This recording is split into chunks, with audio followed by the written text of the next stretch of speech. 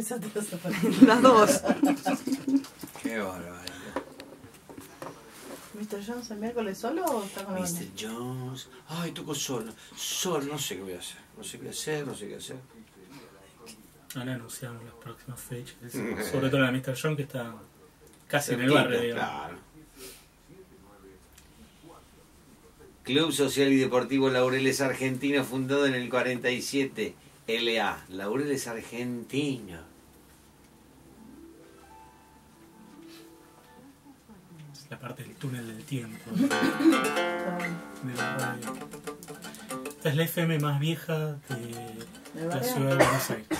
¿De la segunda del país. La más vieja es una de Rosario, que esta es la más vieja, año 82. excelente. Sí. Se mantuvo así barrial y vecinal.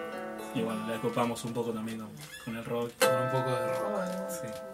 Hay unos programas tan buenos porque es como. Todos están, ya son vinilos, muchos de tango, de folclore, y vienen con su con el winco, pasan sus temas. Hay uno que pasa todo rock viejo y, y jazz de los 60, todo de vinilo, está muy bueno.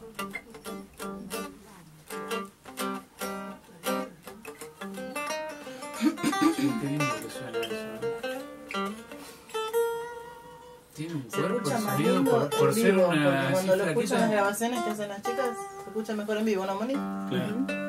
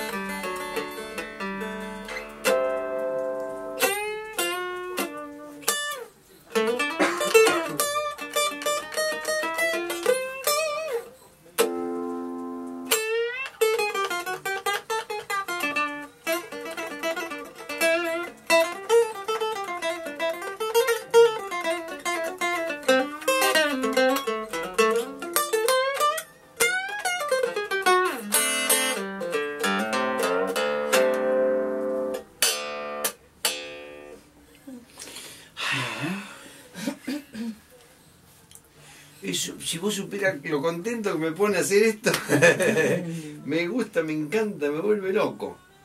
Lo hago solo en mi casa, solo, mirando al perro y, no sé por qué. Hago esto y yo estoy diciendo algo que me representa, ¿viste? Me encanta. Sí. Es bueno para el alma del individuo hacer una cosa así. Si no viste cómo nos quedamos todos No, es escuchando algo, y viste, uno dice. Eso para los pibes es muy importante. Eh, Hacer.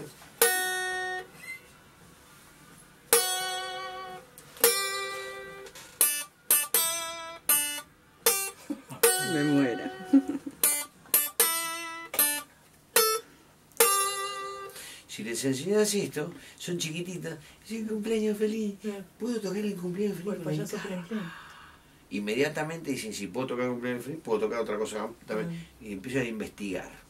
Si los guías en la investigación,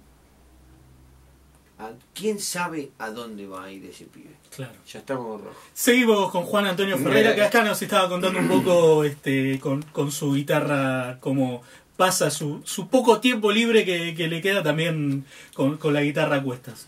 Bueno, pasemos un poco a hablar de la fecha.